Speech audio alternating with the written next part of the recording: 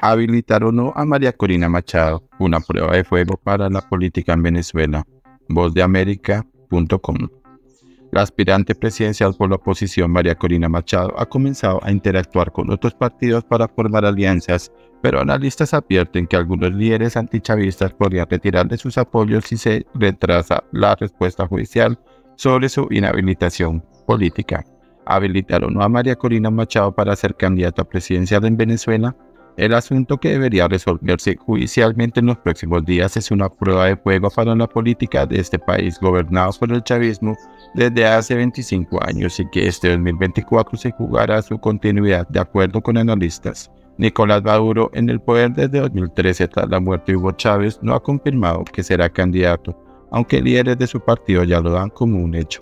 Las elecciones aún no tienen fecha, Gobierno y oposición acordaron que se celebren en el segundo semestre del año como parte de un acuerdo suscrito en Barbados, en el que Estados Unidos ha dado incentivos a favor del diálogo, como el alivio de sanciones contra la industria petrolera venezolana. Machado, ganadora de las primarias presidenciales de la oposición con más del 92% de los 2,1 millón de votos, en octubre impugnó en diciembre una inhabilitación que tacha de ilegal y espera ahora una respuesta del Tribunal Supremo de Justicia TSJ. La inhabilitación es por 15 años según la Contraloría General, un organismo oficial bajo el control del chavismo. La decisión la tendrá el TSJ que tiene una larga historia de fallos contra la oposición. Escenarios.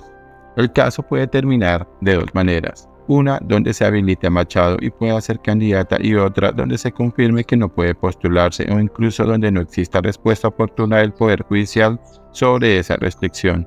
El paso lógico inicial de la oposición será aglutinarse alrededor de Machado como clara ganadora de la primaria, según el politólogo José Vicente Carrasquero. Su habilitación o no remarcó en conversación con la voz de América, será la brújula de la oposición. Hay líderes que pudieran retirarle el apoyo a Machado, en caso de que no se dé respuesta a la habilitación en el transcurso de la campaña electoral, advirtió por su parte el politólogo y especialista en comunicación política Pablo Andrés Quintero. El panorama opositor es complicado por la dependencia de si Machado es rehabilitada para ejercer cargos públicos y ser candidata, dijo. Carrasquero por su lado opinó que hay voces opositoras que serán determinantes en el caso de que el oficialismo a través del Poder Judicial impida a Machado postularse. Entre ellos destacó al expresidente legislativo Henry Ramos Salud del Partido Acción Democrática, el gobernador del estado Zulia Manuel Rosales del Un Nuevo Tiempo y Enrique Capriles Rabowski es candidato presidencial de Primera Justicia.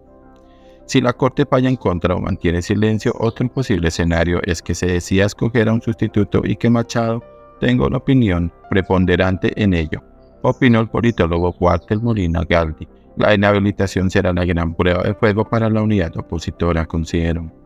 Para Molina Galdi no solo es vital cómo se elegirá a ese eventual candidato sustituto, sino también cuándo tomar esa decisión a medida que avance el calendario. No es lo mismo decirle a la gente, faltando muchos meses para la elección presidencial, que haya un sustituto, a ir hasta el final y allá anunciarlo. Es decir, dentro de varios meses, advirtió el analista a La Voz de América. Recordó que Machado ha llamado a conformar una gran alianza nacional para derrotar al chavismo y que sus primeros pasos han sido participar en eventos internos de Primero Justicia y Voluntad Popular.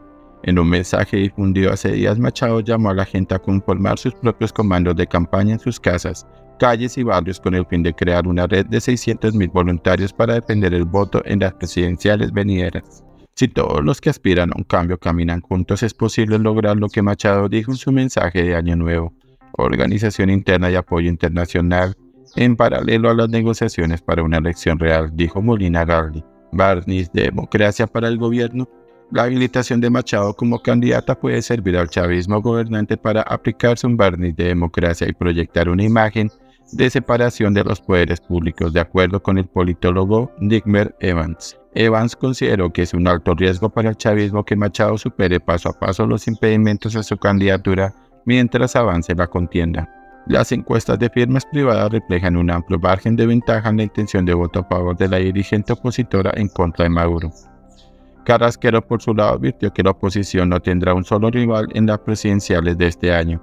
Dijo creer que más allá del chavismo también enfrentará la oposición satélite, un grupo de partidos sumamente críticos del antichavismo. Maduro, que ha sorteado crisis políticas y económicas, intentará recuperar lo que pueda de una base que ha venido perdiendo durante los últimos años, mientras esa oposición alternativa lanzará la mayor cantidad de candidatos posibles para tratar de rebanar votos al sector opositor, previó Carrasquero.